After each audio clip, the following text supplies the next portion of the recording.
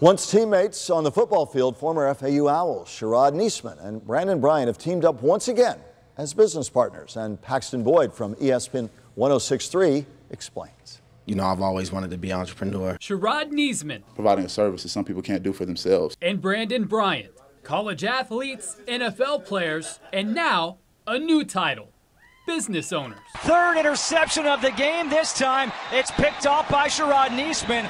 We decided the partnership with Merry Maids, and we haven't looked back since. The duo teaming up once again, opening up a Merry Maids franchise in Davie and tackling yet another lifelong dream of becoming entrepreneurs. Not just being labeled as a football player, athlete. It's kind of cool because a lot of people don't expect that from a you know a young 20, 24 year old young man. It was good going into a partnership with someone who you sacrifice so much with and together on the field. So and off the field as well. And even though they're now rookies all over again, this duo believes they can pick this game up rather quickly. We're new to business, but you know, there's plenty of other things that we've done that you know show our strong suits and you know how we'll be able to handle this. So if you can handle a training camp, you can handle anything. For ESPN 1063 on WPTV News Channel 5, I'm Paxton Boyd.